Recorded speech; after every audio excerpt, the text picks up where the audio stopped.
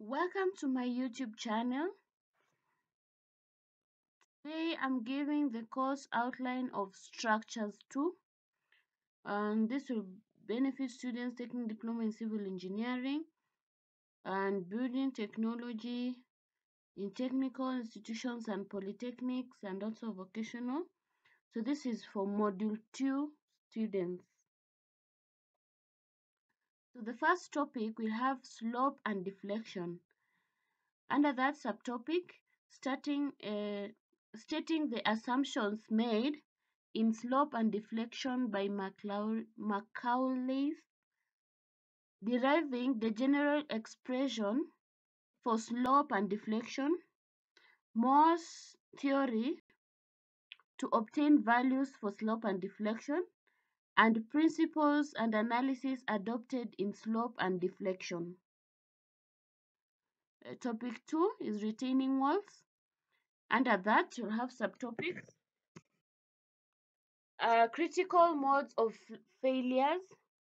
Determine, determine the center of gravity of the wall. Calculating the resultant force and the point of their application. And pressure present in the retaining wall. Topic 3 is combined stresses. Under that, we have subtopics uh, identifying uh, the stresses in the column, determining the direct and indirect column. Topic 4, we have reinforced concrete design to BS 100 and ah, 8 8110 uh, 1995 so we have under that we have subtopics. Explain the methods of limit state design. Design reinforced concrete. Prepare structural members working drawing and adopt the correct use of the code. So that's the last topic. So thank you for watching. Please like share and subscribe.